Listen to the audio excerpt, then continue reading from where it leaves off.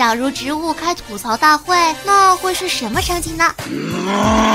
我说那个陈贝贝啊，是真傻还是假傻呀？我堂堂冰仙子、仙子、仙女，就连我是手动还是自动，他都不晓得呀！这位伙伴，一上来火气就就这么大，我向仙子道歉，对不起。铁门啊，铁窗。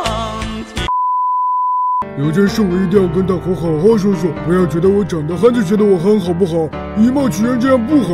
还有，为什么别的坚果的装扮都是这么酷的容颜技巧，我的胡子、胡子、胡子和泳衣啊？就因为我长得憨憨的吗？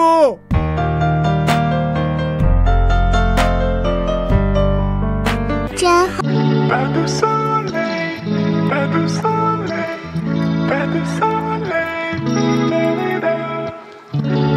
小